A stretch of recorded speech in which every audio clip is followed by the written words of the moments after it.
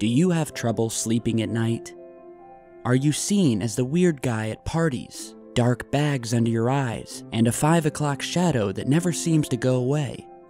Do you suffer from irritable eyes, from the endless late nights staring at your computer screen with thoughts of alien conspiracies that force you to stay up just one more hour so you can research further?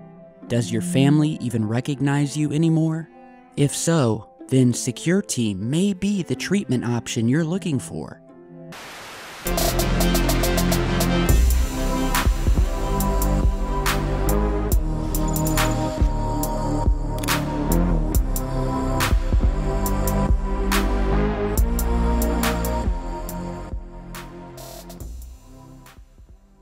Hey, what's up, guys? Tyler here with Secure Team, or as I like to call the channel, anytime after 12 a.m., Insomnia Team.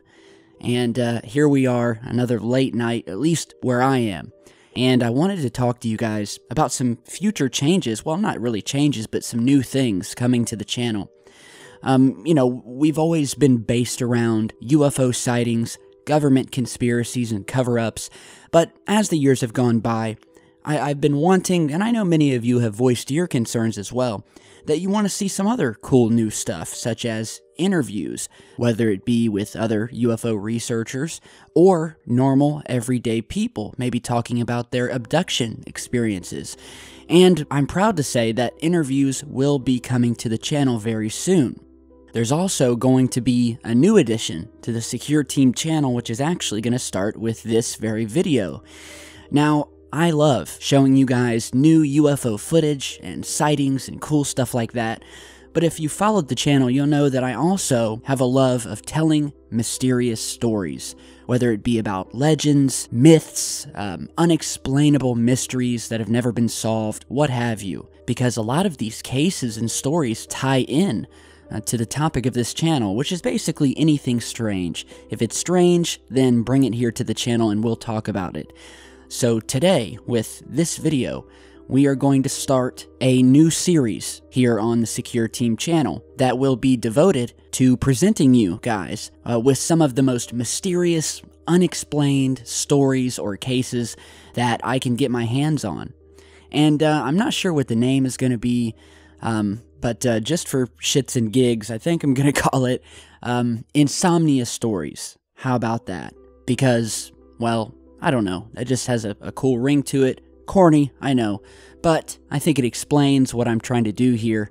Uh, certainly relates to me and uh, the late hours that I stay up researching and learning. I'm just one of those people. The later it gets, the more awake and alive I become. And believe me, folks, that's when stuff gets weird. But this is the first of Secure Team's Insomnia stories, where tonight we will be discussing the mysterious case of the 1999 Ricky McCormick ciphers. So, if you haven't heard of this case, then don't blame yourself, because a lot of the mysterious details surrounding it didn't even come out until around 12 years later, after the mysterious death of a man named Ricky McCormick. So, who was this man? And the plain answer is he was a nobody. He was poor and lived in the projects of St. Louis, Missouri. It wasn't until June 30th, 1999, that police came upon the dead body of a man abandoned in an empty field in St. Charles County. The man later turned out to be Mr. McCormick, and on discovery of the murder victim, police found two mysterious handwritten notes folded up in his pockets. He was also found over 10 miles away from his residence, and they had no solid leads as to who would have wanted to kill him or why.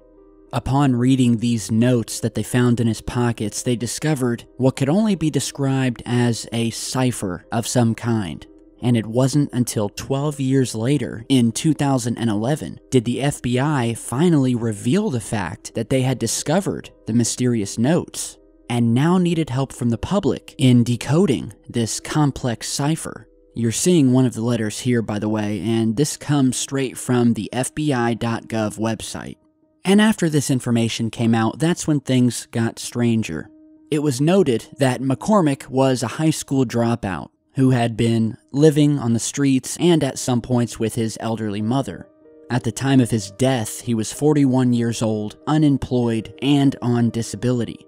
It's also very important to note that Mr. McCormick could barely spell his own name, let alone create such a sophisticated cipher that to this day has never been cracked.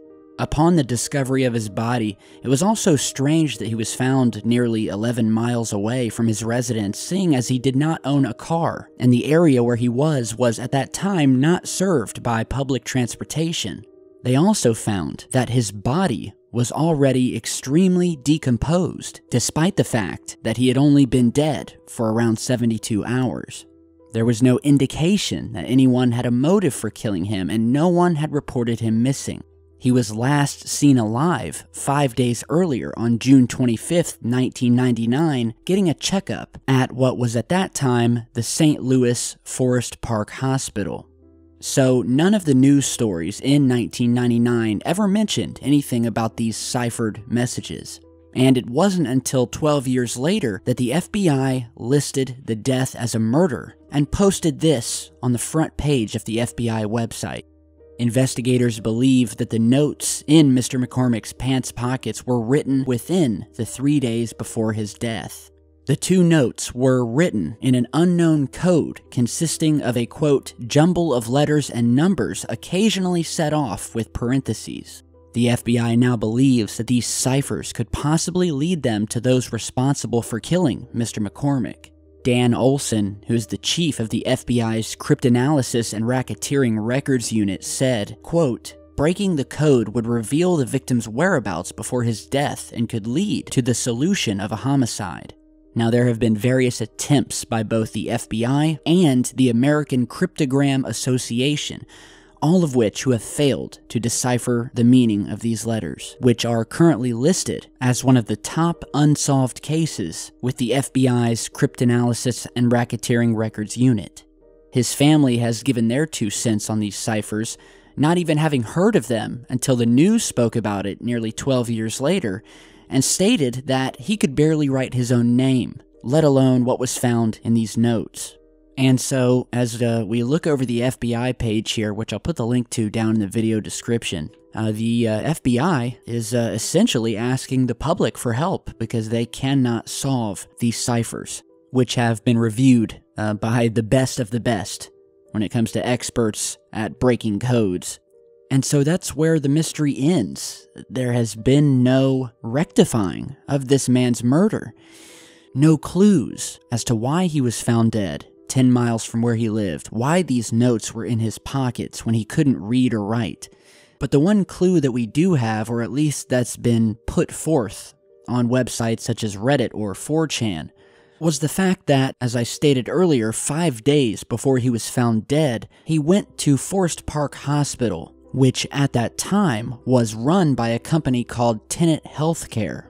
The word Tenet, by the way, is written in one of the notes in the man's pocket. And so this may be significant because at the time, there was a violent sexual predator priest by the name of Fred Lenczycki who was working at the hospital.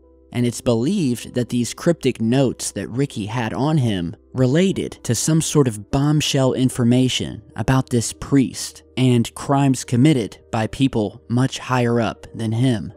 But that's only one theory.